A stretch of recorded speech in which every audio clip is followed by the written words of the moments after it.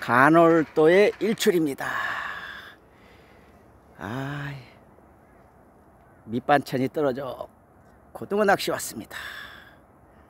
아, 고등어 낚시 짬 낚시 잠깐 하다가 서산 또 여기저기 다녀서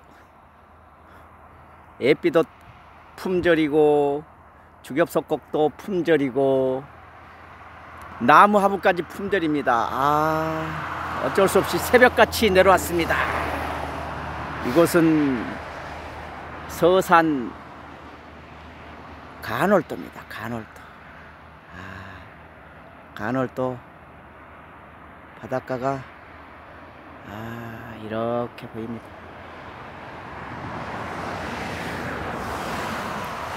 아 여기는 이제 텐트에서 숙식한 사람들 아. 자. 아.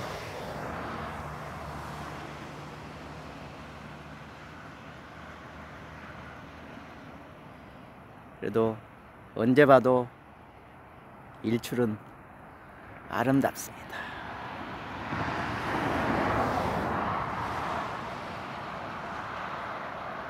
차들은 쌩쌩 달려도 아 이 갈매기 스키들이 예, 갈매기 스키들이 왔다 갔다.